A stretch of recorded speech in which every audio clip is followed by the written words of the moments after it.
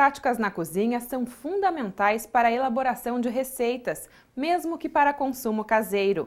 Se você gosta de fazer geleias e compotas, preste atenção nessas dicas do Emater Responde. O Emater Responde de hoje vai responder a dúvida técnica da telespectadora Clarice da Silva, que reside na cidade de Itu, no interior de São Paulo. Ela pergunta como fazer para esterilizar vidros pesar e também como deve controlar o prazo de validade, no caso da execução de compotas e também de geleias. A Clarice aproveita a ocasião para agradecer o envio de um livro de receitas da Emater. A partir deste livro, ela conta que já executou diversas receitas. E quem vai responder a dúvida técnica da Clarice é a nutricionista da Emater, Leila Ghisoni.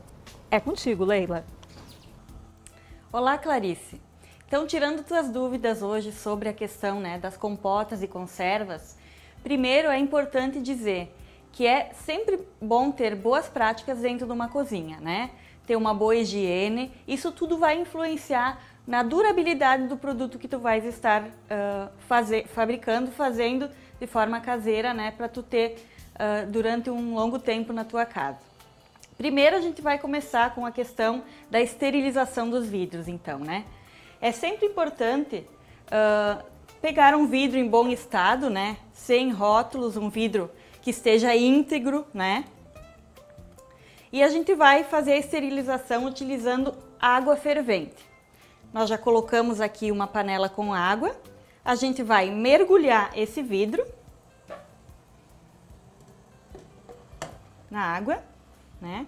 Pode ter um pouco mais de água para ele quando for borbulhar, ele vai estar tá cobrindo esse vidro, tá? E vamos deixar durante 15 minutos. A tampa também vai, vai sofrer o mesmo procedimento, tá? Nós vamos colocar na água fervente. A tampa é importante sempre ser tampa nova, né?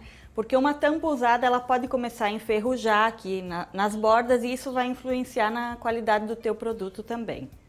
Então a gente vai fazer a mesma coisa do vidro e nós vamos deixar durante uns 10 ou 15 minutos fervendo nessa água, né? Depois retira dessa água, deixa ele escorrendo com a boca virada para baixo, né? Numa, num, num, pano, numa toalha limpa, tá?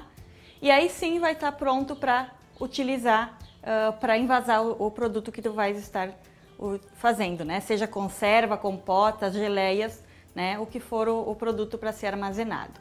Quanto à questão do prazo de validade, Geralmente dura de seis meses a um ano, tanto conserva quanto, quanto compota e, e chimia ou geleias, tá? Isso vai depender também, vou frisar novamente, da questão das boas práticas, os procedimentos que tu vai estar tá utilizando com higiene dentro da tua comida, da tua cozinha. Bom, quanto à questão da pesagem, a pesagem é importante. Tu pegar esse vidro, pesar numa balança, anota o peso do vidro com a tampa, tá? Depois que tu envasar o produto uh, que tu vai estar tá fazendo, né? Depois de pronto, tu vais pesar novamente e aí desconta o valor do vidro. Aí tu vais ter o peso real do alimento que tu estás produzindo. É importante frisar que dentro da, da, da tua cozinha, né, tu vai ter essa questão das boas práticas e que pode diferir um pouco, né, quando é das agro, quando é dentro de uma agroindústria, de uma indústria maior.